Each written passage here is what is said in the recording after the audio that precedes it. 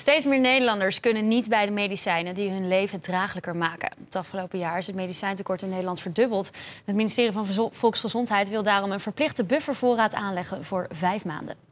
Merken dat we ochtends, als we de bestelling van de groothandel uitpakken, dat we niet binnenkrijgen wat we besteld hebben. Dus dat het er gewoon niet is. En dat we het dus ook niet af kunnen leveren aan patiënten. We hebben dat laatst gehad met pennen tegen een allergische reactie. Die konden we niet leveren. En dan hebben mensen dus geen spuit in huis waarmee ze zichzelf kunnen injecteren op het moment dat ze een allergische reactie hebben die heel ernstig is en levensbedreigend kan zijn.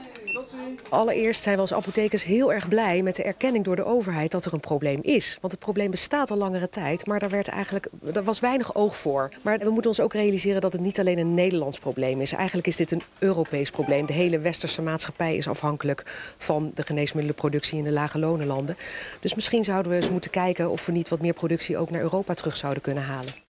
Minister Bruins, toch eerst even naar dat probleem. Hoe kan het nou dat het aantal tekorten aan medicijnen is verdubbeld? Ja, het zijn tekorten en dreigingen van tekorten. Allebei worden gemeld en dat aantal neemt steeds uh, toe. Ik denk omdat de melding door apothekers en groothandel steeds beter verloopt. Dus het wordt meer bekend, dat systeem. Dus het was misschien al zo, maar we weten het nu. We weten het steeds beter. Ja. Um, en de, we zien dat de afhankelijkheid van sommige uh, landen, van sommige producenten uh, groeit. En van sommige geneesmiddelen zijn er nog maar een paar op de wereld. En dat maakt heel kwetsbaar. Als ik hoor dat we afhankelijk zijn van lage landen als China en India voor medicijnen, dan schrik ik daar best wel van. Begrijpt u dat? Ja, dat kan ik me goed voorstellen. Ik eerlijk gezegd uh, ook. En dat, daarom vind ik ook dat we er wat aan moeten doen. Daarom wil ik eigenlijk ook dat apothekers altijd een, een voorraad aanhouden samen met de groothandel. Want dan hoeft de uh, apotheker in ieder geval geen nee meer te verkopen in de richting van, uh, van, ja. van ons als burgers.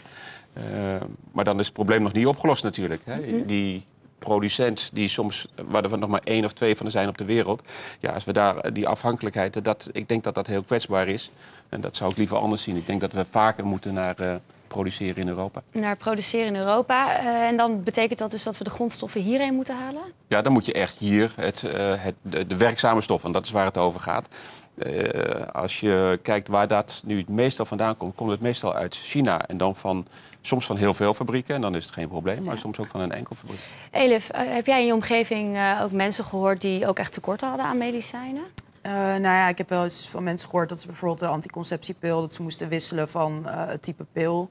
dat is natuurlijk niet zo heel ernstig, of tenminste dat is een ongemakje. Maar uh, als ik hoor dat, dat er ook mensen hun EpiPen niet krijgen of zo, dat, dat vind ik best wel verontrustend. Ja. Nou wilt u het dus Europees ook gaan regelen. Wat moet daarvoor gebeuren om dat voor elkaar te krijgen? Dan moet in ieder geval uh, neuzen dezelfde kant uitstaan uh, in Europa. Dus en wie, wie hebben... werkt er dan nu nog tegen?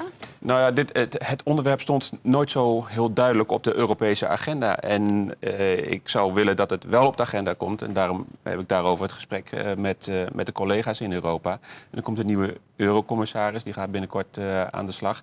En dan zou ik willen zeggen, dit is echt het eerste thema waar we mee aan de slag moeten, moeten gaan. Zorgen dat we zekerheid hebben van medicijnen voor alle mensen in Europa.